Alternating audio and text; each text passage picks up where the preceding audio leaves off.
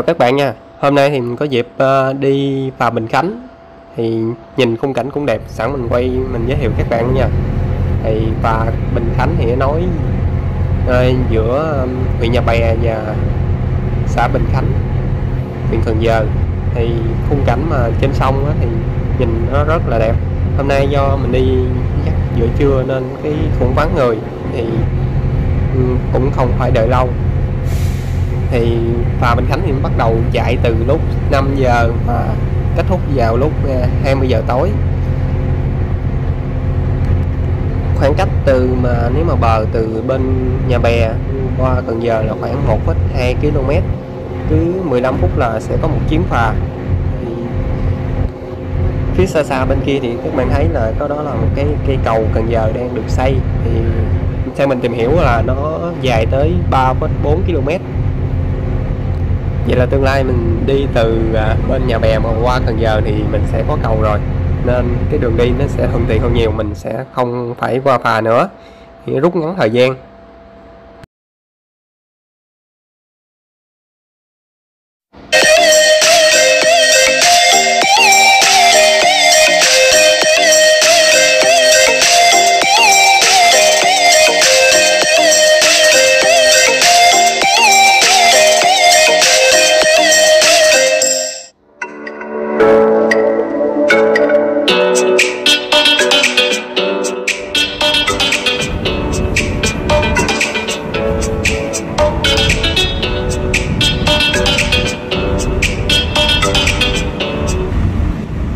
Phía xa xa bên kia thì ờ, đó là xã Bình Khánh của huyện Cần Giờ thì bên kia thì bây giờ thì cũng còn cái nhiều nhà sàn ờ, mọc ở ven sông.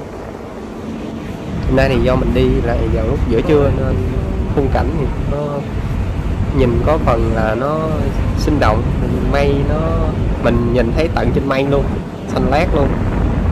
Trước mắt các bạn, đó là cây cầu Cần Giờ đang được xây luôn nha các bạn nhìn thì xa xa thì nó theo cái kiểu giống như là cầu à, nhìn nó từ từ cũng giống như là cây cầu Phú Mỹ. Đây là khung cảnh trên phà bây giờ nha các bạn. Đa số là xe lớn thôi. Bây giờ thì không khí ở trên phà thì nó rất là mát. Tại mặt nước à, phía bên dưới là cái mặt nước bởi vì nó tạo cho mình cảm giác rất là thoải mái. Nếu các bạn có dịp thì hãy thử một lần đi phà Bình Chánh để sang phía Cần Giờ để tham quan du lịch và ghi lại cho nhà mình những cái bức ảnh đẹp. Thì Cần Giờ là một cái địa điểm đến mà rất là thú vị.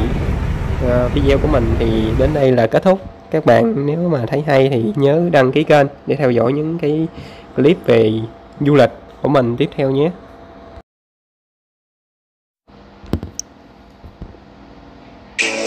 Thank you.